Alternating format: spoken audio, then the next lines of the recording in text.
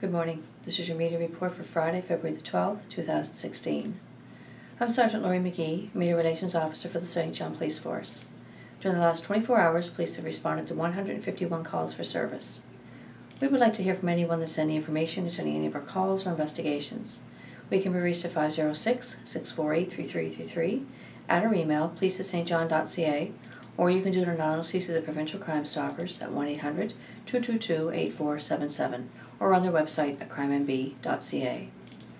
On Thursday evening at 7:58 p.m., police were called to Julius Pizza on Charlotte Street for a report of an assault. An employee was outside when he was approached by a tenant of the building.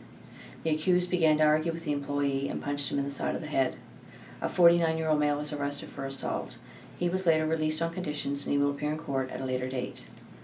At 10:49 p.m., police received a third-party call of a possible domestic dispute at a Newman Street residence. When police arrived, a female reported that her boyfriend smashed her head off a wall during an argument. She received minor injuries. A 28 year old male was arrested for assault and was later released on conditions to appear in court at a later date. And at 11.01 p.m., police were called to the area of Mecklenburg Street for a report of a disturbance. It was learned that witnesses were holding a highly intoxicated male in an attempt to prevent him from driving a vehicle.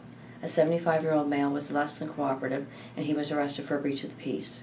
He was later released. This will conclude the media report for Friday, February the 12th. Have a good day and be safe.